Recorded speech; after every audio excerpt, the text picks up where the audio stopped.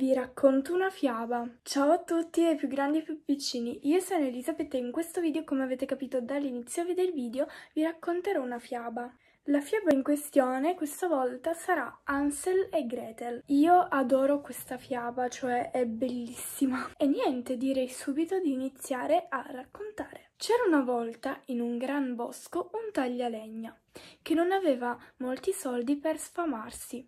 Riusciva solo a procurarsi del pane per sfamare la sua moglie e i suoi due figli Ansel e Gretel. Però arrivò un giorno in cui non poté provvedere neanche a questo e una notte sua moglie le disse Ascolta, marito mio, domani mattina all'alba dai ad Ansel e Gretel due pezzetti di pane e lasciali camminare per il bosco. Noi non sappiamo più come nutrirli sarà il meglio per loro. No, moglie, non ho il cuore per abbandonare i miei due bambini nel bosco e lasciarli poi da soli laggiù. Nel bosco ci sono così tante bestie feroci che possono sbranarli in un sol balcone. Ma la donna disse ma se non lo fai, tutti quanti moriremo di fame. E non lo lasciò in pace finché egli non acconsentì. Anche i due bambini non potevano dormire per la fame. Quindi sentirono tutto il discorso della madre e Gretel si mise a piangere amaramente. Ma Ansel gli disse Stai tranquilla, Gretel, provvederò io. Si mise la giacchetta e sgattaiolò fuori. La luna splendeva chiara e i ciottoli splendevano come monete nuove di zecca. Ansel si chinò e ne prese un po' e se li mise nella tasca. E tornò a casa. Tranquilla, Gretel, e riposa tranquilla, disse, e poi si mise a dormire pure lui. Ancor prima che sorgesse il sole, la mamma andò nella loro camera e disse, Alzatevi, bambini, vogliamo andare nel bosco. Ecco qui due pezzi di pane per voi, ma siate saggi, non consumatelo tutto, tenetelo per mezzogiorno. Iniziarono a camminare verso il bosco e Ansel più volte si girò a guardare la casa. E il padre disse Ansel, perché ti volti sempre e ti fermi? Su, muoviti. Ah, papà, c'è il mio gattino bianco sul tetto che vuole dirmi addio.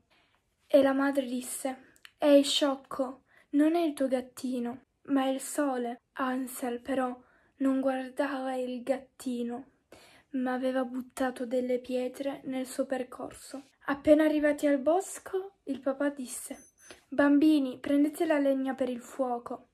Non voglio rimanere qui a gelare. Ansel e Gretel cercarono un po' di rametti secchi e ne presero un mucchio. E la madre disse Ora sdraiatevi vicino al fuoco e addormentatevi. Io e papà andiamo a spaccare la legna in mezzo al bosco. Aspettate finché non vi verremo a prendere. Ansel e Gretel si misero accanto al fuoco e poi mangiarono il suo pezzetto di pane a mezzogiorno. Aspettarono fino a sera, ma la mamma e il papà non tornavano a prenderli. Quando la luna sorse, iniziarono a incamminarsi seguendo i loro ciottoli che brillavano e arrivarono alla loro casa. Il padre si rallegrò a rivedere i suoi bambini perché era dispiaciuto di averli lasciati da soli nel bosco. La madre finse di essere felice, ma in verità era furiosa. Ma pochi giorni dopo la storia ricominciò, il pane iniziò a mancare in casa. Questa volta gli diedero il loro pezzo di pane e Ansel gettò dei pezzettini lungo la strada, come i ciottoli. Gretel pianse e Ansel le disse Stai tranquilla, Gretel. Quando sorgerà la luna seguiremo i miei pezzettini di pane. Ma qualcosa andò storto. Non c'erano più i pezzetti. Erano scomparsi. Saranno stati di sicuro gli uccellini del bosco che le avranno beccate. Erano molto stanchi, così si addormentarono. E il giorno dopo si incamminarono di nuovo, ma non trovarono più la strada di casa. Il terzo giorno videro una casa, una casa di biscotti, con le finestre di zucchero trasparente. E invece la seconda parte era pane ricoperto di focacce. Ansel disse ci siederemo qui e mangeremo fino a sazietà. iniziarono a mangiare la finestra di zucchero. Ma ad un certo punto sentirono una voce che disse Chi mangia la mia casa zuccherosa e salata? I bambini risposero È il vento! Continuarono a mangiare e Ansel prese un pezzo di focaccia dal tè. Ma ad un tratto la porta si aprì e uscì una vecchietta. Ansel e Gretel si spaventarono, ma la vecchietta disse Oh, cari bambini, come siete giunti fin qui? Venite dentro con me, siete i benvenuti. Li prese per mano e li portò dentro casa. Fu loro servita una buona cena, con latte e biscotti. Poi si coricarono nei due loro letti. Sembrava di stare in paradiso per loro due. Ma la vecchietta, la vecchietta era una strega cattiva. Lei attirava i bambini, costruendo la sua casa piena di dolci e focacce, così per poi metterli in un forno e mangiarseli tutti. Era strana, era una strega davvero cattiva cattiva.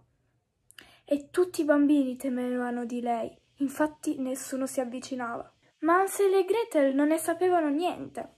La vecchietta si alzò prima dei bambini e quando li vide dormire dolcemente disse Mmm, loro saranno un buon bocconcino per me. La vecchietta prese Gretel e la mise in un forno, ma non subito lo accense, perché prima doveva fare la sua solita colazione. Ansel si svegliò. Vide che Gretel non era al suo fianco e quindi si spaventò. La cercò per tutta casa silenziosamente e poi la vide dentro un forno urlare, dicendo aiuto, aiuto! Ansel provò di salvarla, ma la vecchietta era proprio a fianco. Quindi la distrò, fece un po' di rumore fuori. La vecchietta corse subito, pensando che ci fossero altri bambini. Così Ansel ne approfittò per salvare Gretel. La prese per mano e scapparono subito di casa. La vecchietta urlava Tornate indietro, tornate indietro! Ma loro scapparono ancora più velocemente. Poi iniziarono a cercare di nuovo la loro casa. Passarono molti giorni affinché non videro una sagoma di una casa. Corsero subito e voilà, erano nella loro casetta. Il padre allegro disse i miei bambini sono vivi, sono salvi, entrate subito in casa. Perché lui non voleva lasciarli soli nel bosco, era la mamma che voleva.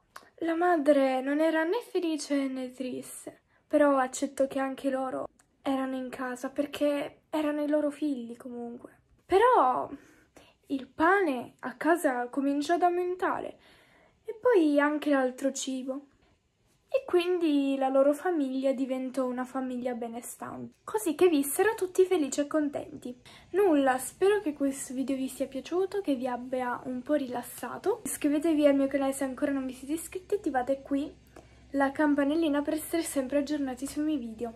E ciao, tanti abbracci!